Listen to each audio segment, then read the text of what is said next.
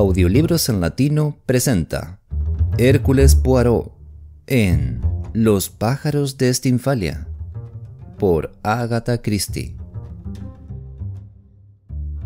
Harold Warren las vio por primera vez cuando subía por el sendero del lago. Estaba sentado en la terraza del hotel. Hacía un buen día, el lago tenía un profundo color azul y el sol lucía brillantemente. Harold, mientras fumaba una pipa, pensó que el mundo era un lugar muy agradable. Su carrera política se desarrollaba bajo buenos auspicios. Una subsecretaría a la edad de 30 años era cosa de la que uno podía enorgullecerse. Le habían dicho que el primer ministro comentó con alguien que el joven Warren llegaría lejos. Harold estaba bastante satisfecho de ello. La vida se le presentaba de color de rosa. Era joven, no mal parecido, de buena posición y completamente libre de lazos románticos. Había decidido pasar las vacaciones en Morsoslovaquia, tanto por apartarse de las rutas frecuentadas como por gozar de un completo descanso, sin que nadie ni nada le molestaran. El hotel del lago Stemka, aunque de reducidas dimensiones, era confortable y no estaba atestado de gente. La mayor parte de los huéspedes eran extranjeros. Los únicos ingleses que había entre ellos eran una mujer de edad, la señora Rice, y su hija, la señora Clayton. A Harold le gustaron. Elsie Clayton era bonita, aunque de una manera bastante pasada de moda. Se pintaba muy poco, casi nada, y su aspecto era apacible y algo tímido. La señora Rice podía ser considerada como una mujer de carácter, alta de estatura, de voz profunda y ademanes autoritarios, aunque no le faltaba el sentido del humor ni resultaba mala compañía. Se veía claramente que su vida estaba ligada a la de su hija. Harold había pasado unas cuantas horas muy agradables en compañía de las dos mujeres, y como ellas no intentaron acapararle, las relaciones entre los tres seguían siendo amistosas y nada exigentes. Los demás huéspedes del hotel no llamaron la atención del joven. Por lo general eran excursionistas o turistas que llegaban en autopullman. Paraban allí durante una o dos noches y luego se marchaban. El muchacho no se había fijado en nadie más hasta aquella tarde. Las dos subían por el sendero del lago, caminando muy despacio, y sucedió que cuando atrajeron la atención de Harold, una nube cubrió el sol. El joven se estremeció ligeramente. Luego las miró con detenimiento. Sin duda había algo raro en aquellas dos mujeres. Tenían la nariz larga y aguileña, como el pico de un pájaro, y sus caras, de un gran parecido físico, adoptaban un aire impasible. Llevaban sobre los hombros unas capas sueltas que movía el viento y parecían las alas de dos pajarracos. Harold pensó, parecen pájaros y añadió casi sin querer, pájaros de mal agüero. Las dos mujeres se dirigieron hacia la terraza y pasaron junto a él. No eran jóvenes, tal vez su edad se acercaba más a los cincuenta que a los cuarenta, y su parecido era tan grande que no podía dudarse de que se trataba de dos hermanas. Su semblante era desagradable. Cuando pasaron junto al joven, los ojos de ambas se fijaron en él durante un instante. Fue una mirada fría y calculadora, casi infrahumana. La impresión de enfrentarse con algo maligno creció en el interior de Harold. Vio la mano de una de las dos hermanas, una mano que parecía garra. Aunque el sol brillaba otra vez, volvió a estremecerse. ¡Qué repugnantes! pensó. Son como aves de presa. La señora Rice, que salía del hotel, se distrajo de estos pensamientos. El joven se levantó de un salto y le acercó una silla. La mujer le dio las gracias, tomó asiento y, como de costumbre, empezó a mover vigorosamente las agujas de la calceta.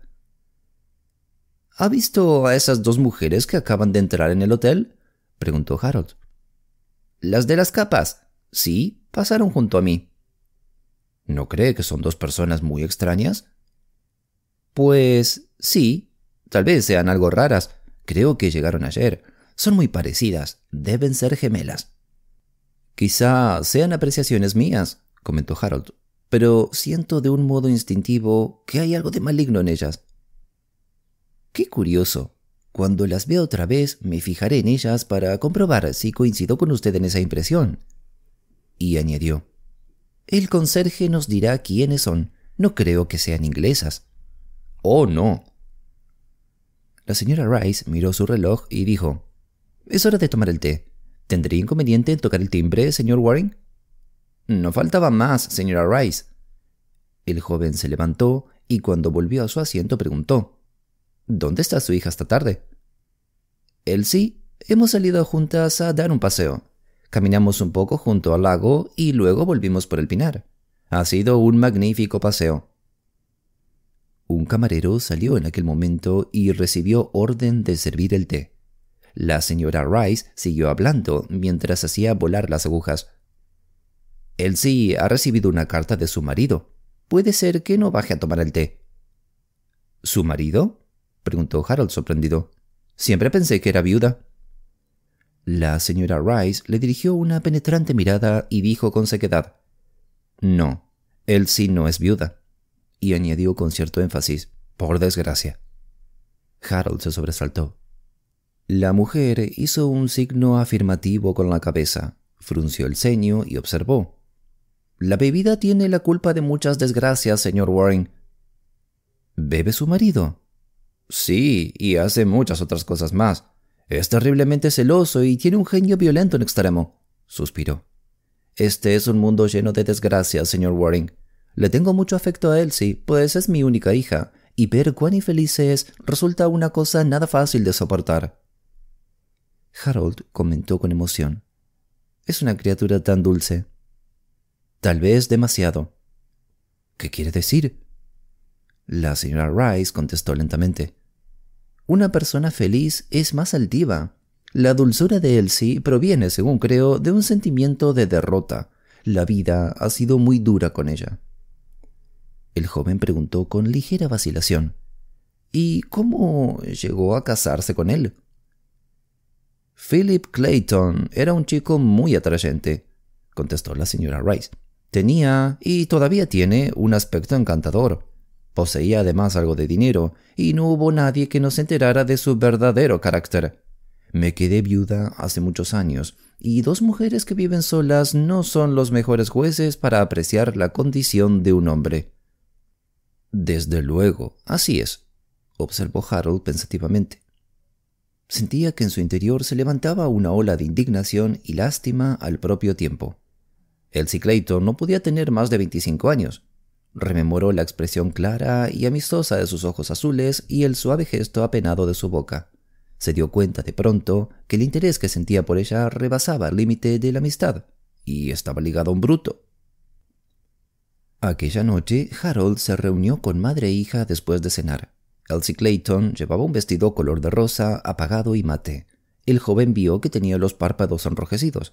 Había estado llorando. La señora Rice anunció con viveza. Ya me enteré de quiénes son esas dos arpías, señor Waring. Son polacas, de muy buena familia. Eso me ha dicho el conserje.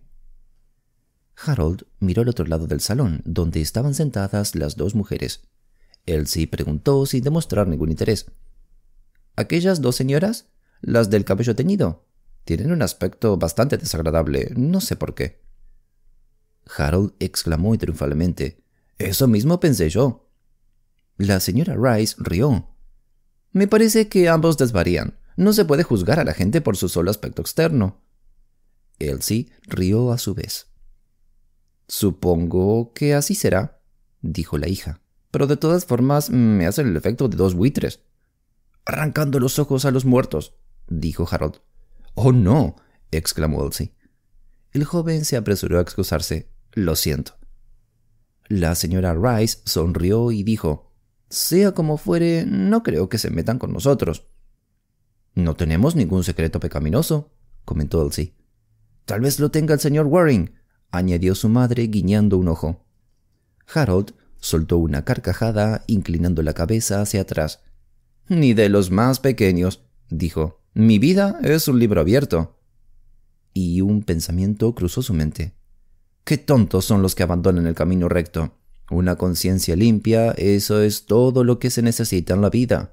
Con ello puede uno enfrentarse con el mundo y mandar al garete a quien se interponga.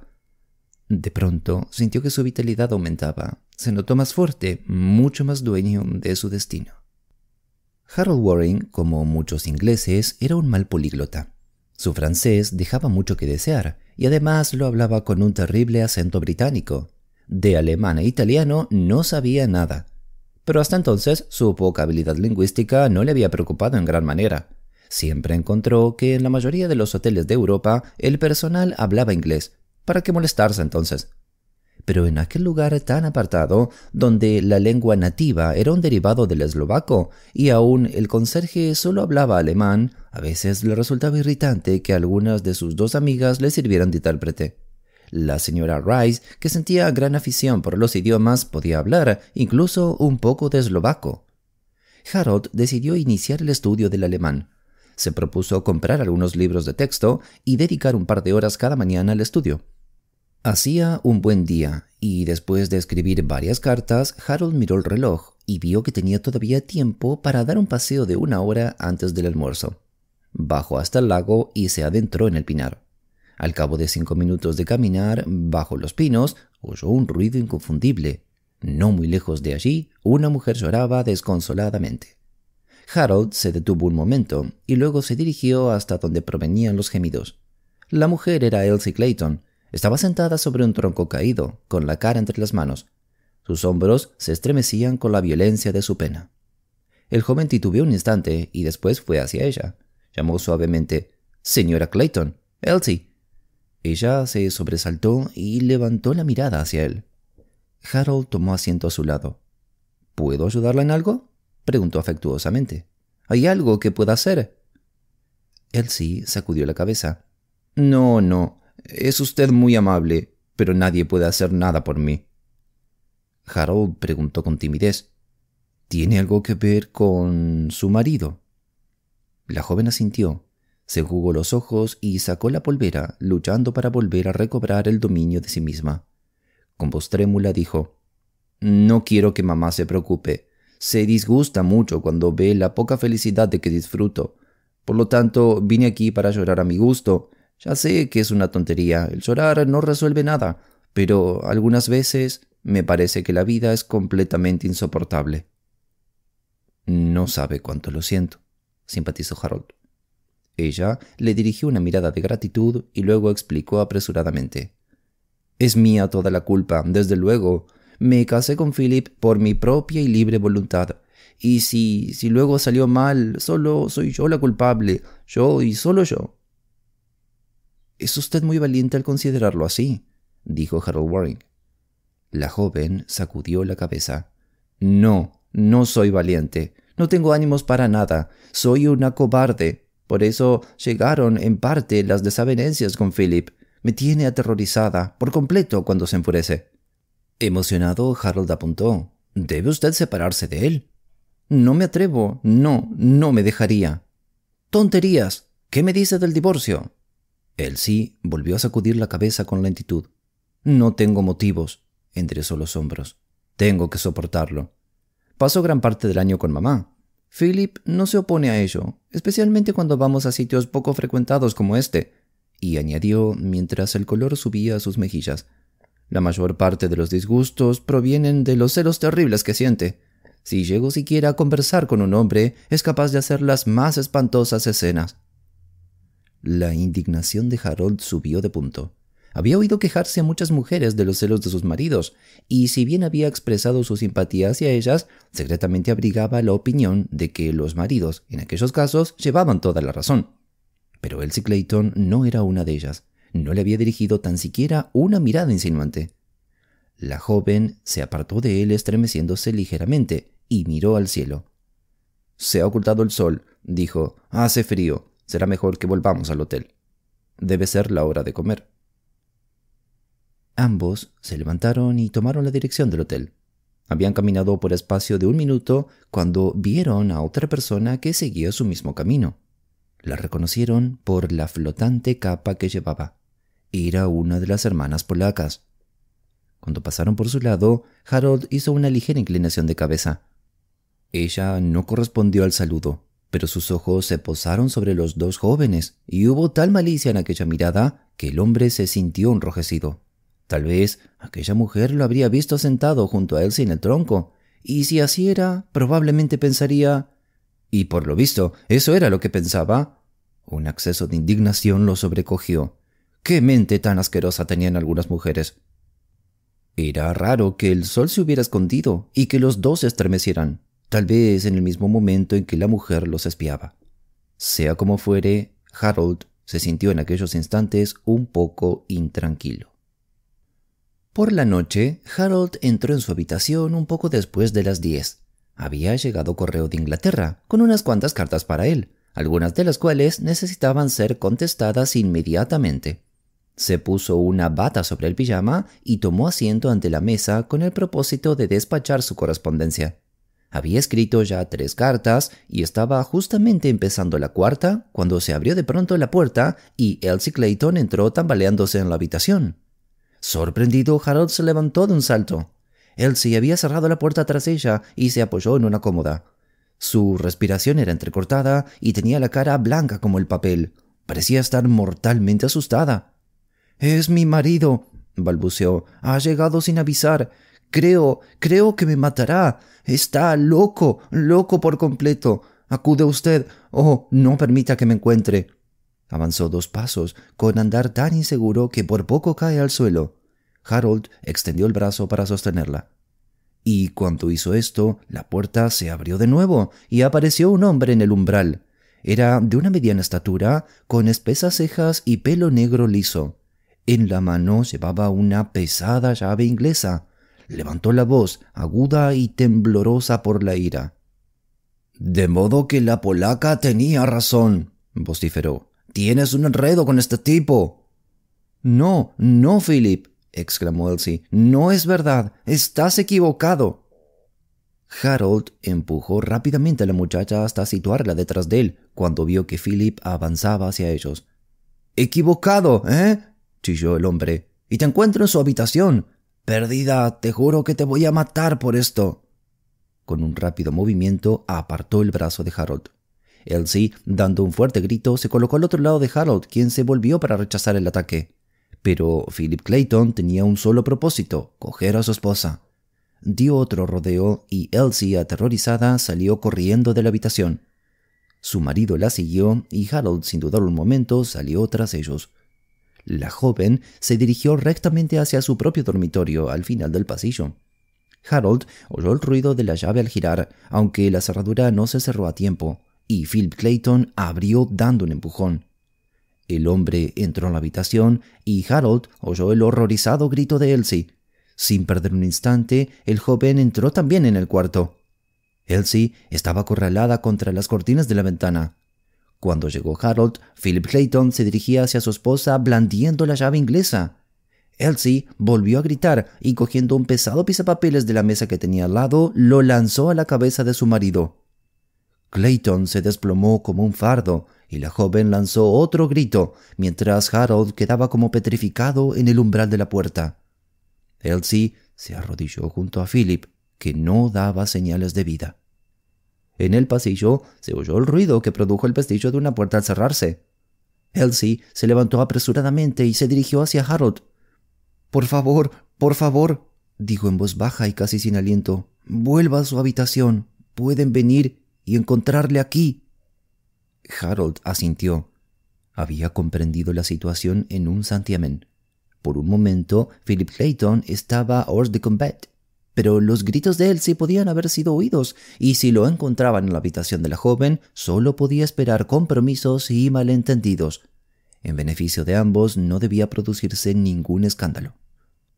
Haciendo el menor ruido posible, desanduvo el camino hasta su dormitorio, y justamente cuando llegaba a él, oyó el ruido de una puerta que se abría. Cerca de media hora estuvo en su cuarto, esperando, sin atreverse a salir. Estaba seguro de que tarde o temprano él se iría a verle. Se oyó un golpecito en la puerta y Harold la abrió de un tirón.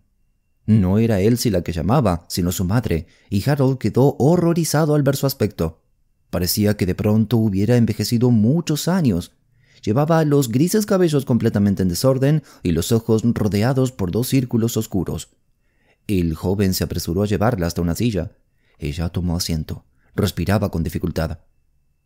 Parece que no se encuentra usted bien, dijo Harold. ¿Quiere que le traiga algo? La mujer sacudió la cabeza. No, no se preocupe por mí. En realidad me encuentro perfectamente. Ha sido solo la impresión. Señor Waring, ha ocurrido una cosa terrible. ¿Tal mal herido está Clayton? preguntó el joven. Ella retuvo el aliento. Peor que eso. Ha muerto. La habitación pareció dar vueltas alrededor de Harold. La sensación de que un chorro de agua helada le corría por el espinazo paralizó al joven y le impidió pronunciar palabra alguna durante unos momentos. Muerto, repitió torpemente. La señora Rice asintió. Cuando habló, su voz tenía el tono monótono que produce el cansancio. El borde del pisapapeles le dio en la sien y al caer se golpeó la cabeza con el guardafuegos metálico de la chimenea. No sé qué es lo que le habrá producido la muerte, pero lo cierto es que está muerto. Desastre. Esa era la palabra que sonaba insistentemente en el cerebro de Harold. Desastre, desastre, desastre. Pero fue un accidente, dijo con vehemencia. Yo vi cómo ocurría. La señora Rice contestó secamente. Claro que fue un accidente. Yo también lo sé. Pero, ¿habrá alguien más que lo crea? Francamente, estoy asustada, Harold. No estamos en Inglaterra. Yo puedo confirmar la declaración de Elsie, dijo el joven. Sí, y ella confirmará la de usted. Eso, eso es justamente. La mente de Harold, de por sí aguda y precavida, vio con rapidez lo que la mujer quería decir. Recordó todo lo sucedido y se dio cuenta de la fragilidad de su posición en el asunto. Elsie y él habían pasado juntos gran parte del tiempo desde que se conocieron, y luego existía el hecho de que habían sido vistos en el Pinar por una de las polacas, en circunstancias bastante comprometedoras. Al parecer las polacas no hablaban inglés, pero quizá lo entendían un poco. Aquella mujer podía reconocer el significado de algunas palabras, como celos y marido, dichas en el transcurso de la conversación que tal vez estuvo escuchando. De todas formas, Parecía claro que para soliviantarlo de tal modo, la polaca había contado algo a Clayton, y ahora estaba muerto. Cuando murió, Harold se encontraba en la habitación de Elsie, y no había nada que desmintiera que él deliberadamente atacó a Clayton con el pisapapeles. Nada que probara que el celoso marido no los había encontrado juntos. Solo la palabra de Elsie y la de él. ¿Les creerían? Un miedo cerval lo sobrecogió. No le cabía en la imaginación que tanto él como Elsie estuvieran en peligro de ser condenados a muerte por un asesinato que no habían cometido. En cualquier caso, solo podrían acusarlos de homicidio. Pero, ¿distinguirían el asesinato del homicidio en estos países extranjeros? Aunque los absolvieron, tendrían que hacer antes una encuesta y el asunto se publicaría en la prensa. Se acusa a dos ingleses, marido celoso, joven y prometedor político. Sí, aquello representaría el final de su carrera. No podría soportar un escándalo semejante. ¿No sería posible deshacernos del cadáver? preguntó impulsivamente. ¿Llevarlo a cualquier otro sitio? La mirada asombrada y desdeñosa de la señora Rice le hizo enrojecer. La mujer habló con tono incisivo. Pero Harold, esto no es una novela de detectives. Intentar una cosa así sería una locura. Sí, eso parece, gruñó él. ¿Qué podríamos hacer? Dios mío, ¿qué podríamos hacer? La señora Rice sacudió la cabeza con desesperación. Tenía el ceño fruncido y su cerebro trabajaba a toda presión. Harold volvió a preguntar ¿No podemos hacer nada? Nada que evitara este pavoroso desastre. Ya lo había dicho, desastre, terrible, imprevisto, vituperable. Ambos se miraron fijamente y la mujer dijo con voz ronca Elsie, mi pequeña Elsie, haré cualquier cosa, me moriría si tuviera que afrontar una cosa así. Y añadió Y usted también, su carrera, todo. Harold murmuró No se preocupe por mí. Pero en realidad estaba muy lejos de decir lo que sentía. La mujer prosiguió con tono amargo. Esto no es justo, ni razonable. Sería diferente si entre ella y usted existiera algo, pero yo sé muy bien que no hay nada. Como si se cogiera un clavo ardiente, Harold sugirió. Diga eso a todos, por lo menos. Me parece muy bien. Sí, solo falta que nos crean. Ya sabe cómo es la gente de aquí. Así era, pensó lúgubremente Harold. Para una mente continental no había duda de que debía existir una relación culpable entre Elsie y él, y las negativas de la señora Rice serían consideradas como un intento desesperado de salvar a su hija. El joven comentó con tristeza. Es verdad, no estamos en Inglaterra. Mala suerte. Ah, la señora Rice levantó la cabeza. Es cierto, no estamos en Inglaterra. Tal vez pudiera hacerse algo. ¿Sí? preguntó ávidamente Harold. La mujer inquirió de pronto. ¿Cuánto dinero tiene aquí? No mucho, pero puedo telegrafiar para que me manden más, desde luego. Vamos a necesitar una gran suma, pero creo que vale la pena intentarlo. ¿Qué se propone? dijo Harold, sintiendo que su ánimo cobraba nuevas fuerzas. La señora Rice habló con decisión. No tenemos ninguna posibilidad de ocultar esta muerte valiéndonos de nuestros propios medios. Más creo que existe, por lo menos una, de que podamos hacerlo oficialmente. ¿Lo cree usted así? Harold abrigaba una leve esperanza, aunque en el fondo no creía en todo aquello.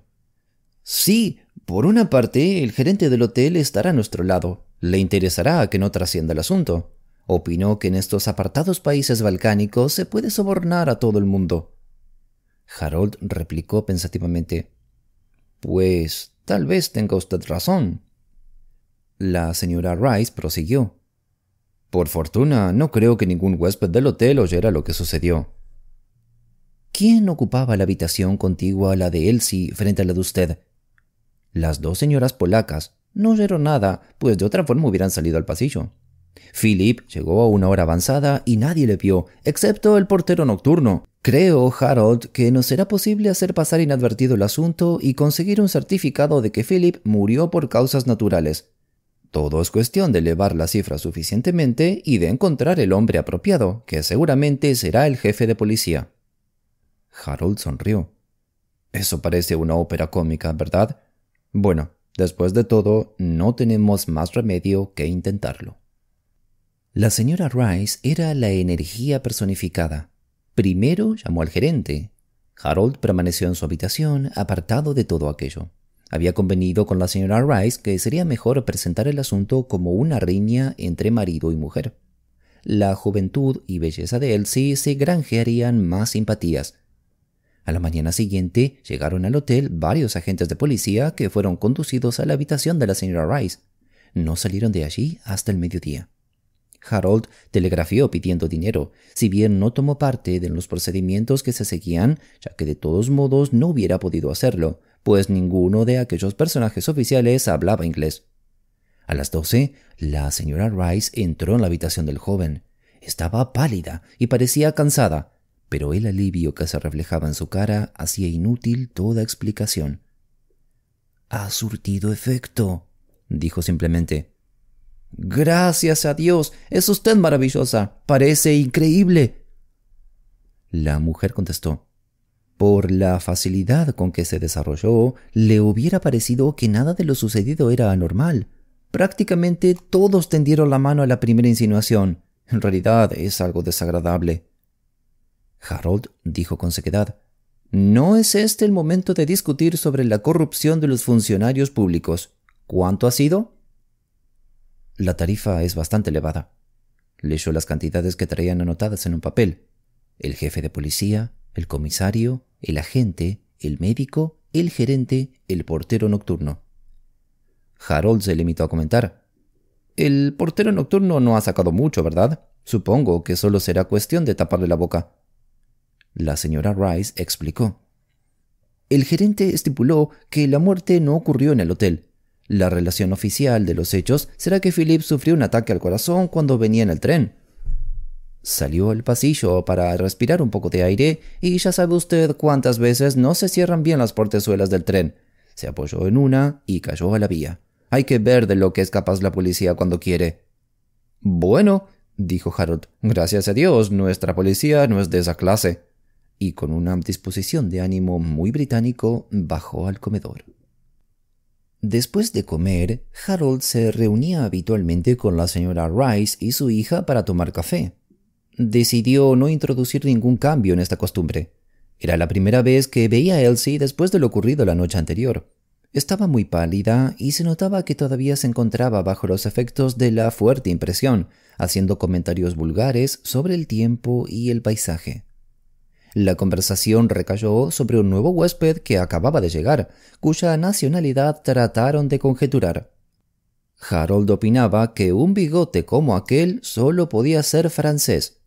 Elsie decía que era alemán, y la señora Rice creía que era español. No había nadie más que ellos en la terraza, a excepción de las dos polacas, que estaban sentadas en uno de los extremos, haciendo ganchillo. Como siempre que las veía, Harold sintió que un extraño estremecimiento de aprensión pasaba por él. Aquellas caras inexpresivas, aquellas narices aquileñas, aquellas manos que parecían garras. Un botones se acercó y dijo que buscaban a la señora Rice. La mujer se levantó y lo siguió. Los dos jóvenes vieron cómo al llegar a la puerta del hotel saludaba a un policía de uniforme. Elsie contuvo la respiración. ¿Cree usted que algo habrá salido mal? Harold se apresuró a tranquilizarla. No, no creo que haya pasado nada. Pero en su interior sintió un súbito acceso de miedo. Su madre está llevando el asunto maravillosamente. Ya lo sé. Mamá es una gran luchadora. Nunca admite la derrota. Elsie se estremeció. Pero esto ha sido horrible, ¿verdad? Vamos, no tratemos más de ello. Ya pasó todo. Elsie dijo en voz baja. Yo no puedo olvidar que lo maté. Harold replicó apresuradamente. No debe pensar en eso. Fue un accidente y usted lo sabe. La cara de la joven adoptó una expresión ligeramente más serena.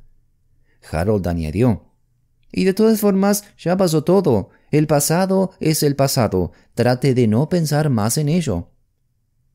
La señora Rice volvió en aquel instante. Por el aspecto de su cara, los dos jóvenes vieron que todo iba bien. Me ha dado un susto atroz, dijo la mujer con tono jovial, pero solo se trataba de una formalidad que debía cumplirse con los documentos. Todo va perfectamente, hijos míos, no hay nada que temer. Creo que debíamos pedir unas copas de licor para celebrarlo. Pidieron las copas y cuando se las sirvieron cada uno levantó la suya. Por el futuro, brindó la señora Rice. Harold dirigió una sonrisa a Elsie y propuso, Por su felicidad. Ella sonrió a su vez y replicó, Y por usted, porque tenga muchos éxitos. Estoy segura de que llegará a ser un hombre eminente. Se sentían alegres, casi aturdidos, por la reacción natural después del miedo pasado. Las sombras habían desaparecido. Todo iba bien. Las dos mujeres que estaban al otro lado de la terraza se levantaron, enrollaron cuidadosamente su labor y luego se encaminaron hacia donde se sentaban los otros tres. Hicieron unas ligeras reverencias y tomaron asiento al lado de la señora Rice. Una de ellas empezó a hablar y la otra fijó sus ojos en los dos jóvenes. En sus labios campeaba una ligera sonrisa que, según pensó Harold, no tenía nada de agradable. El muchacho miró a la señora Rice, quien estaba escuchando a la otra hermana, y aunque él no entendía una palabra de lo que estaban diciendo, la cara del oyente era lo bastante expresiva como para no dejar lugar a dudas. Toda la angustia y desesperación de antes se reflejaban en ella de nuevo. La mujer escuchaba y de vez en cuando contestaba con una breve palabra. Al cabo de un rato, las dos hermanas se levantaron y después de inclinarse levemente entraron en el hotel. Harold preguntó con voz ronca. ¿Qué ocurre? La señora Rice contestó con tono monótono y desesperado. Estas dos mujeres nos amenazan con un chantaje. Anoche lo oyeron todo, y ahora que hemos tratado de ocultar lo sucedido, todavía se pone peor la cosa. Harold Waring se hallaba junto al lago. Había paseado febrilmente durante una hora, procurando con aquel esfuerzo físico acallar el clamor de desesperación que sentía. Llegó por fin al lugar donde vio por primera vez a las dos lúgubres mujeres que tenían bajo sus pies la vida de él y de Elsie. En voz alta exclamó Malditas sean, malditas sean esas arpías. Una ligera tosecilla le hizo dar la vuelta. Se encontró frente al extranjero del bigote exuberante que en aquel momento salía de entre los pinos. Harold no supo qué decir. Aquel hombrecillo seguramente oyó la exclamación. Con tono que le pareció ridículo, dijo Oh, eh, buenas tardes. El otro contestó en perfecto inglés. Temo que para usted no serán muy buenas. Pues yo. Harold se turbó otra vez. Creo que se encuentra usted en un atolladero, monsieur. ¿Puedo ayudarle en algo? No, gracias, muchas gracias. Solo me estaba desahogando un poco. El extranjero replicó suavemente. No obstante, creo que puedo ayudarle. ¿Estoy en lo cierto al suponer que sus preocupaciones están relacionadas con las dos señoras que en este instante se encuentran en la terraza? Harold lo miró con fijeza. ¿Sabe usted algo de ellas? Y a todo esto, ¿quién es usted? Como si confesara pertenecer a una ascendencia principesca, el hombrecillo anunció Yo soy Hércules Poirot Podríamos adentrarnos un poco en el bosque. Cuénteme entre tanto lo que le ocurre. Como le dije, creo que puedo ayudarle. Harold no estaba todavía seguro de qué fue lo que le hizo confiar repentinamente en un hombre a quien acababa de conocer hace unos pocos minutos. Tal vez fue la excesiva tensión que le dominaba. Pero, sea como fuere, ocurrió. Relató a Poirot toda la historia. El detective escuchó en silencio y en una o dos ocasiones asintió gravemente. Cuando Harold cayó, Poirot comentó vagamente. Los pájaros de Stinfalia, de férreos picos, que se alimentaban de carne humana y habitaban junto al lago. Sí, todo coincide exactamente. Perdón, ¿qué decía? preguntó Harold intrigado. Quizá, pensó, aquel estrambótico hombrecillo estaba loco de remate. Hércules Poirot sonrió. Estaba reflexionando.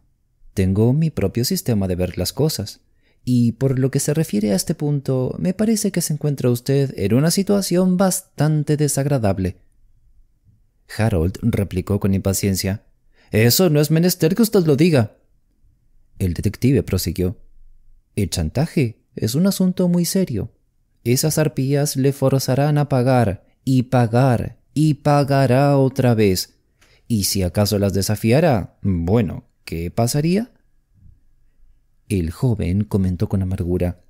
Todo se descubriría. Arruinarían mi carrera, y una pobre chica que nunca hizo mal a nadie se vería envuelta en este asunto infernal. Solo Dios sabe cuál sería el final de todo ello. Por lo tanto, dijo Poirot, debemos hacer algo. Harold preguntó con malos modos. ¿Qué? Hércules Poirot inclinó hacia atrás la cabeza y casi cerró los ojos cuando habló. Las dudas acerca de su buen estado mental cruzaron de nuevo por el pensamiento de Harold. Es el momento de utilizar las castañuelas de bronce. Está usted loco, dijo el joven. Menón, solo hago lo posible para seguir el ejemplo de mi gran predecesor Hércules. Tenga paciencia durante unas pocas horas, amigo mío. Mañana me encontraré en situación de poder librarle de sus perseguidoras. Cuando Harold bajó a la mañana siguiente, encontró a Hércules Poirot sentado solo en la terraza. A pesar de sus dudas, el joven se había dejado impresionar por las promesas del detective. Harold se dirigió a él y preguntó con ansiedad ¿Qué ha pasado? Poirot lo miró con ojos brillantes. Todo ha salido a pedir de boca. ¿Qué quiere decir? que todo se aclaró satisfactoriamente. ¿Pero qué ha ocurrido? El detective volvió a emplear su tono vago. He utilizado las castañuelas de bronce, o mejor dicho, expresándome en términos modernos, hecho que vibraran los hilos metálicos. En resumen, utiliza el telégrafo. Sus pájaros de Stinfalia, monsieur, han sido puestos donde no podrán perjudicar a nadie durante algún tiempo.